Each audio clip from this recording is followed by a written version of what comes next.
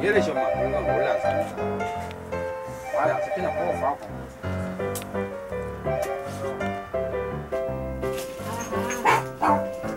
여기가 한 40년 되지 싶은데 원생산지가 대구 아닙니까? 메리아스, 양발 뭐 이런 거 지방에 뭐 안 간 데 없어요. 제주도 뭐 울릉도까지 다 갔으니까 옛날에는 이거 36군데 랬어. 아. 근데 지금 뭐 12집밖에 안 되는데 결과적으로. 원체 이 양발골목이 옛날에는 잘 됐기 때문에 이 상인들이 대구 여기 양발골목 하면 다 알아요. 그쵸. 요 밑에 요만뿐만 아니고 저 위에 또 있거든.